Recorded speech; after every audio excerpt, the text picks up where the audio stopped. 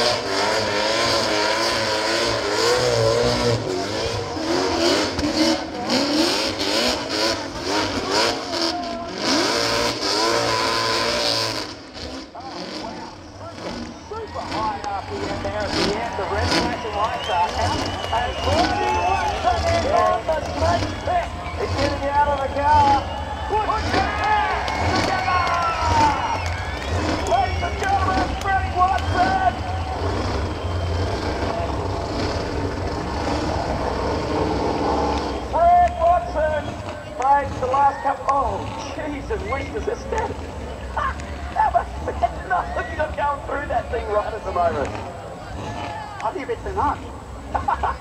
Mate, this car has done its best to bite me the last couple of times you've been out with it. What have you been doing in the last few weeks since Motorvation? Since Motorvation, we had the motor in, rebuild a gearbox, new the exhaust. It from crying, had to fix up all the holes that we smashed in it. Mate, it's been a lot of work to get it here and to get it back out here, but we love this shit. and we love